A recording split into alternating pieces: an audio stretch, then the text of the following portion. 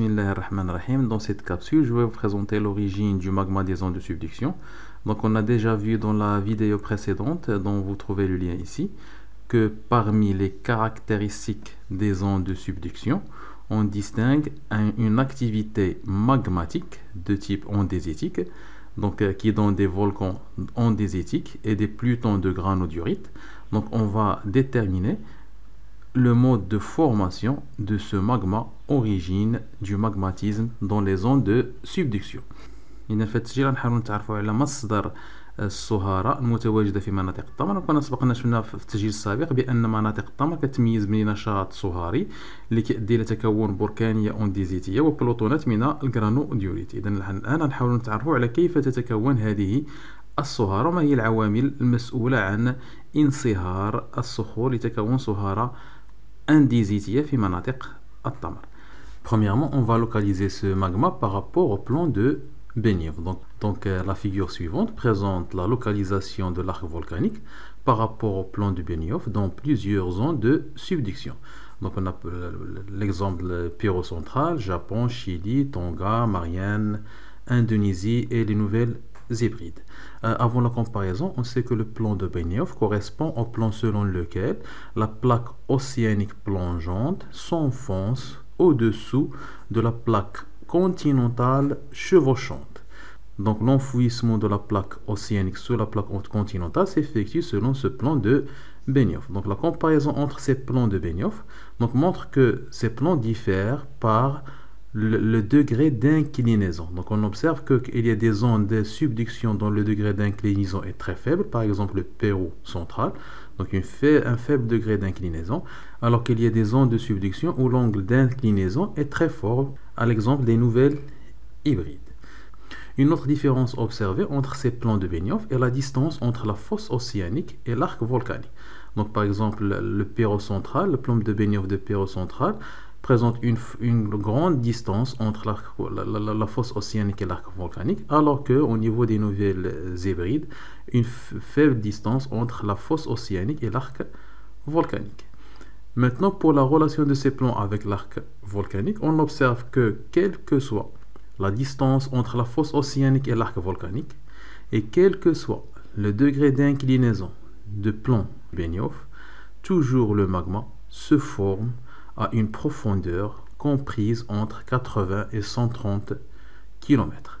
Donc tous ces plans de Benioff, quel que soit leur degré d'inclinaison ou quelle que soit leur distance entre la, la fosse et l'arc volcanique, toujours le magma se forme au-dessus de la plaque plongeante à une profondeur de 80 à 130 km. اذا في البداية نحاول نحدد موضوع هذه البراكين بالنسبة لمستويات بينيوف وكان سبق أن حددنا بان مستوى بينيوف هو المستوى هو مستوى انغراز الغلاف الصخري المحيطي تحت الغلاف الصخري القاري. وكنلاحظوا في البداية واحد المجموعه من الاختلافات ما بين هذه المستويات عندنا مجموعة من مناطق التمر ومستويات بينيوف مجموعه من مناطق التمر. كنلاحظوا بأن هذه المستويات تختلف من حيث درجة الانحدار. هناك منحنيات بينيوف اللي عندها درجة انحدار ضعيفة ومنحنيات أخرى عندها درجة انحدار كبيرة. كما أن المسافة الفاصلة بين الحفرة المحيطية والبركان تختلف. هناك مسافة كبيرة مثلا بالنسبة ما بين الحفرة المحيطية لبيرو مع البركان ومسافة صغيرة جدا ما بين الحفرة المحيطية لإبريل الجديدة مع البركان. الآن علاقة هذه المنحنيات مع البركان فكيفما كانت هذه المسافة الفاصلة بين الحفرة المحيطية والبركان؟ وكيفما كانت درجة انحدار مستوى بنيوف فدائما نلاحظ بأن الصهارة تتكون في عمق محصور بين 80 و 100 كيلومتر. وهذه الصهارة تتكون فوق الصفيحة المنغرزة يعني على مستوى الصفيحة الراكبة. إذا دائما الصهارة البركانية تتكون في عمق بين 80 إلى 130 كيلومتر فوق الصفيحة المحيطية المنغرزة وبالتالي خصنا نحدد ما هي الظروف التي تتوفر في هذه المنطقة لتسمح بتكون هذه الصهارة. Donc si on reprend le premier schéma euh, de la subduction à une profondeur de entre 80 et 130 km, c'est-à-dire une moyenne de 100 km, au-dessus de la plaque plongeante, on se trouve au niveau du manteau de la plaque chevauchante. Donc euh, le magma andésitique des ondes de subduction se forme au niveau du manteau de la plaque chevauchante et la roche qui constitue ce manteau est la péridotite. Donc le magma se forme après fusion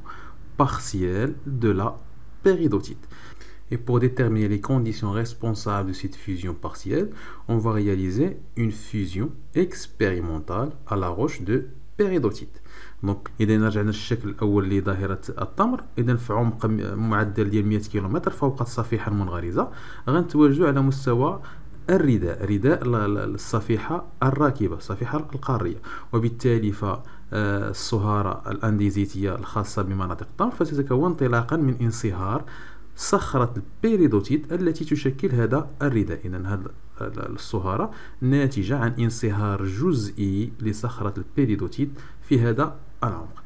إذا لتحديد الظروف المسؤولة عن الانصهار الجزئي للبيريدوتيت غنقومو بدراسة تجريبية لانصهار البيريدوتيت Donc pour tracer un diagramme de fusion partielle de la péridotite dans les zones de subduction, on va premièrement déterminer les conditions expérimentales de cette fusion partielle. Donc l'axe des abscisses de ce diagramme représente la, température et l'axe des Y représente la profondeur, mais bien sûr également la pression correspondante à cette profondeur. Donc on va soumettre une roche de péridotite à des conditions de température et pression variables. L'objectif, c'est de déterminer la valeur de ces deux paramètres qui permettent le début de fusion de la, péridotite, c'est-à-dire les conditions de pression et température qui donnent la première goutte du liquide après fusion de la roche de péridotite solide. En déterminant ces valeurs, on obtient une courbe appelée le solidus. Donc le solidus correspond à la courbe de début de fusion, c'est-à-dire les conditions de pression et température qui se trouvent avant cette courbe de solidus indiquent que la, la se trouve en état solide. Alors que si les conditions de pression et température dépassent cette courbe de Solidus, donc on constate qu'il y a un début de fusion, c'est-à-dire la péridotite se trouve en état de fusion partielle, solide plus liquide. Et bien sûr, en augmentant la pression et la température, on va obtenir une autre courbe appelée le liquidus. Donc ce liquidus correspond à la courbe de fusion complète, c'est-à-dire si les conditions de la pression et la température dépassent cette courbe, on se trouve à l'état liquide à 100%, c'est-à-dire fusion complète de la péridotite. Donc expérimentalement, si la roche de la péridotite se trouve dans ces conditions, avant le solidus, les conditions de pression de température avant le solidus, donc elle se trouve à l'état solide. Une fois les conditions de la pression et de la température dépassent le solidus, donc on se trouve à l'état liquide plus solide, c'est-à-dire une fusion partielle.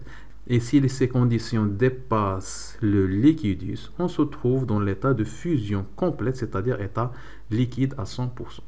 اذا باش نحددوا الظروف التجريبية المسؤولة عن انصهار البيريدوتيت بالاعتماد على درجه الحرارة والضغط وبطبيعه الحال غنمثلوا حتى العمق المطابق أو المقابل لهذا الضغط يعني عند تغيير ظروف الضغط والحرارة غنحاولوا نحددوا قيم هذا الضغط والحرارة اللي كتسمح ببداية الانصهار. بداية الانصهار يعني الحصول على أول قطرة سائل بالنسبة لصخرة البيريدوتيت الصلبة. بمعنى أنه بطبيعه الحال ملي كنقوم بهذا العملية كنحصلوا على هذا المنحنى يسمى بمنحنى التصلب هو منحنى بداية الانصهار. يعني بأن صخرة البيريدوتيت اللي كانت كتواجد في ظروف ضغط وحراره قبل من هذا المنحنى مجرد ما كنكونوا قبل من هذا المنحنى فالصخرة كتكون في حالة صلبة. بداية هذه الظروف يعني فوق هذا المنحنى كنكون حصلنا على أول قطرة من السائل. مجرد ما كنتجاوزوا ظروف الضغط والحرارة لهذا المنحنى كنكونوا في ظروف الانصهار الجزئي يعني الصخرة كتكون جزء صلب وجزء سائل. ثم إلى قمنا بالرفع من الضغط والحرارة كنحصلوا على منحنى آخر. هو منحنى الانصهار الكلي. إلى تجاوزت ظروف الضغط والحرارة هذا المنحنى فالصخرة تتعرض لانصهار كلي. وبالتالي كتكون عبارة عن سائل بنسبة 100% إذا تجريبيا في هذه الظروف ديال الضغط والحرارة التي توجد قبل منحنى التصلب فصخرة البيريدوتيت صلبة بين منحنى التصل ومنحنى الانصهار الكلي فالصخرة تتواجد في ظروف انصهار جزئي. وإلا تجاوزت الظروف هذا المنحنى فالصخرة البيريدوتية تتواجد في حالة انصهار كلي. Maintenant, on va comparer ces conditions de pression et température responsables de la fusion de la péridotite avec les conditions de la pression et température qui se trouvent, qui règnent dans la zone de subduction. Donc à ce diagramme, on va ajouter une autre courbe qui représente la variation de la température en fonction de la profondeur dans les zones de subduction. Donc cette courbe qui représente cette variation correspond au gradient géothermique ou au géotherme d'une zone de subduction. Donc on observe que cette courbe du géotherme ne recoupe jamais la courbe du solidus. Donc il n'y a pas intersection entre le géotherme et le solidus, c'est-à-dire que les conditions de pression et température qui règnent dans la zone de subduction ne dépassent pas le domaine solide vers le domaine de fusion partielle.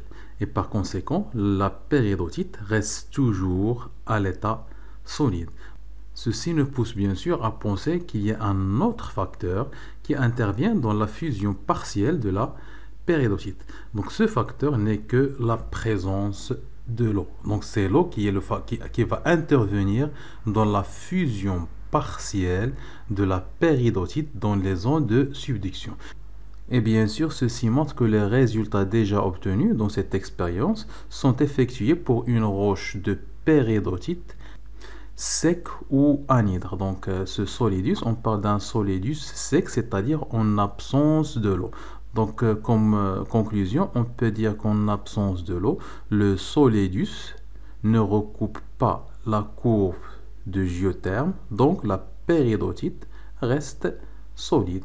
Et pour déterminer la fusion partielle, on va refaire la même expérience, mais en présence de l'eau, c'est-à-dire pour une roche de péridotite hydratée, riche en eau.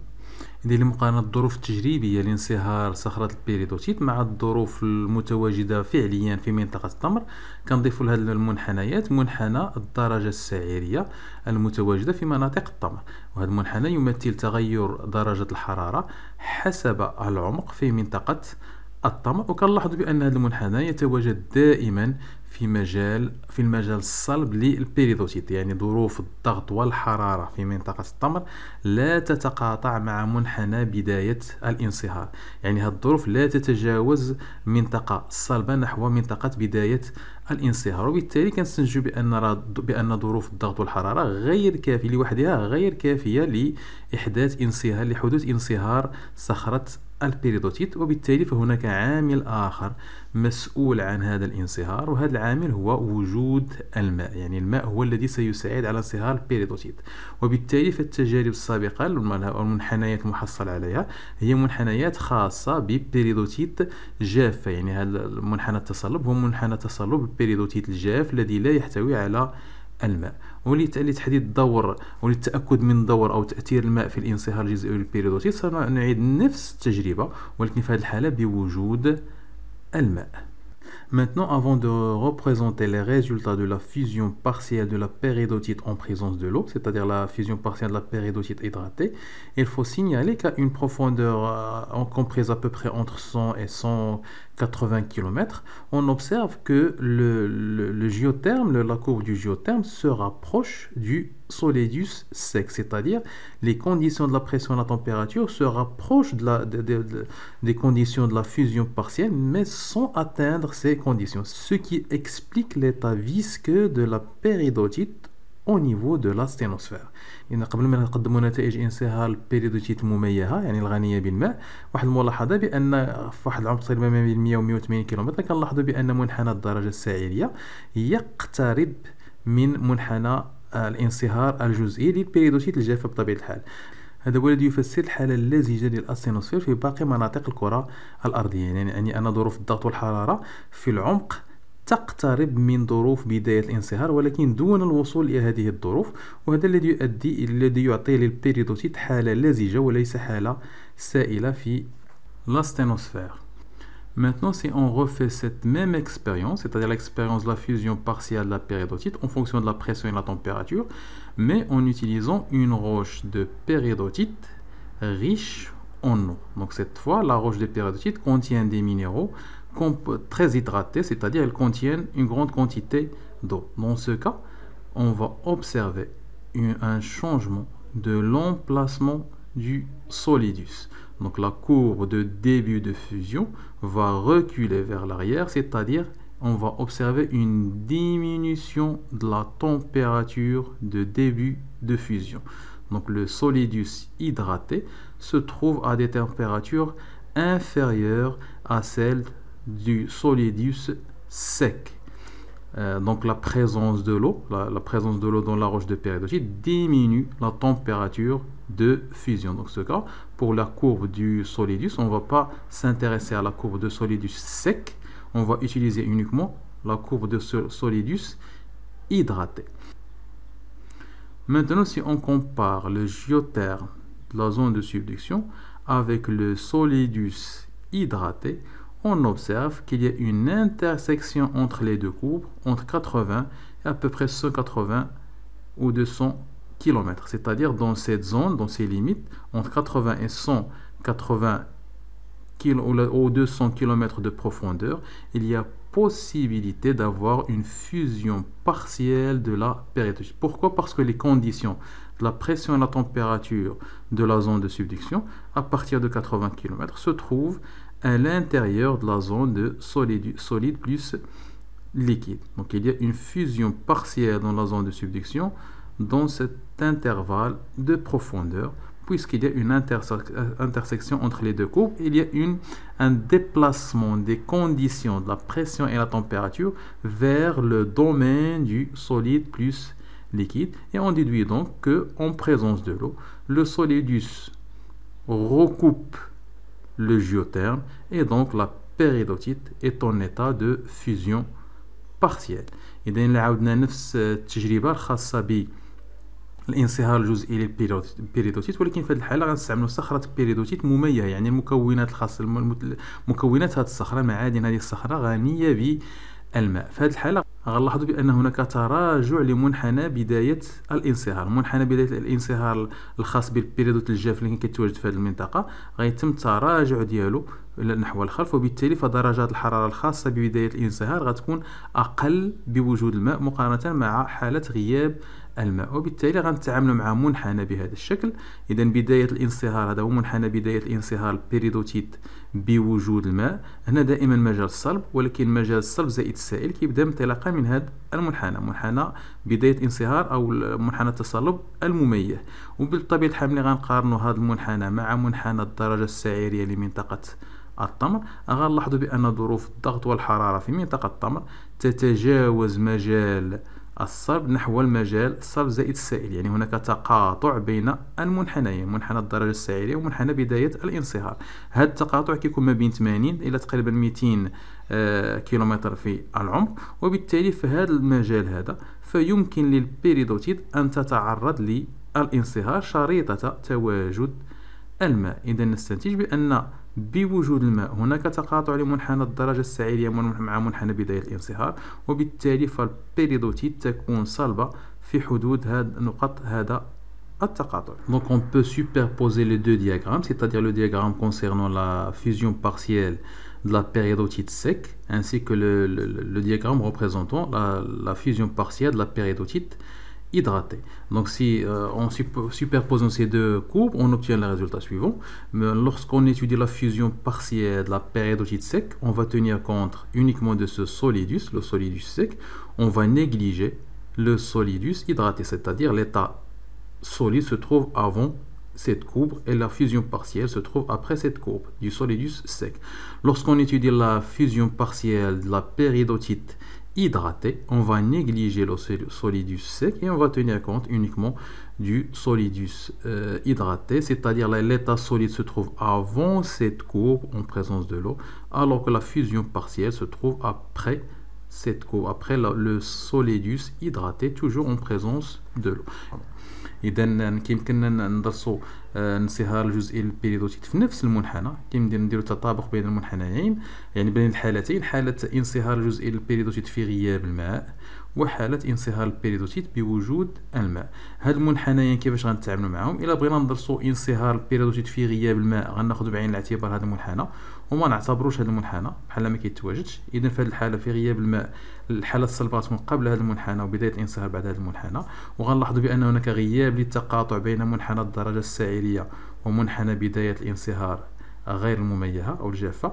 وبالتالي فالبيريدوتي يتواجد في حالة آه، صلبة. في حين عند تواجد الماء ما غناخذوش باعتبار هذا المنحنى.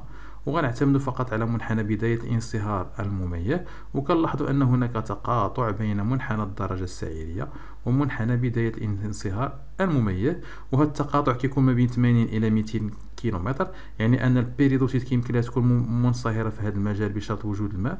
وبطبيعة الحال حنا الهدف ديالنا هو أن هاد الظروف واش كتواجد في منطقة الطم بطبيعة الحال ففي بداية التسجيل لاحظنا بأن الصهارة الأنديزيتية كتكون في واحد العمق محصور بين 80 إلى 130 متر. وبطبيعة الحال فهذا العمق يتواجد في مجال الانصهار الجزئي للبيريدوتيت شريطة وجود الماء. بطبيعة الحال في الأخير كيبقى لنا نحددوا مصدر الماء المسؤول عن الانصهار الجزئي للبيريدوتite. Donc, dans la dernière partie, on va déterminer l'origine de l'eau nécessaire à la fusion partielle de la péridotite.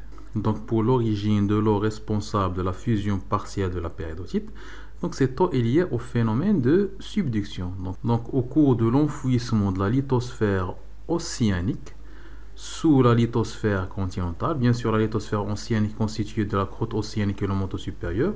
Donc, si cette lithosphère s'enfonce au-dessous de la lithosphère continentale, constituée de la croûte continentale et le manteau supérieur, donc au cours de cet enfouissement, les roches de la croûte océanique plongeante prend par exemple le basalte ou le gabbro.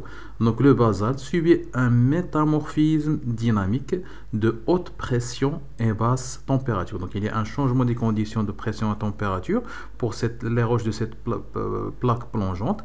Donc les roches euh, de la croûte océanique, à l'exemple du basalte, vont se transformer sous l'effet de la pression et la température et donner d'autres roches métamorphiques, schiste vert, schiste bleu, puis en éclogite. Au cours de ces transformations, les minéraux de ces roches se déshydratent et libèrent l'eau dans la péridotite de la plaque chevauchante, c'est-à-dire directement au-dessus de la plaque plongeante.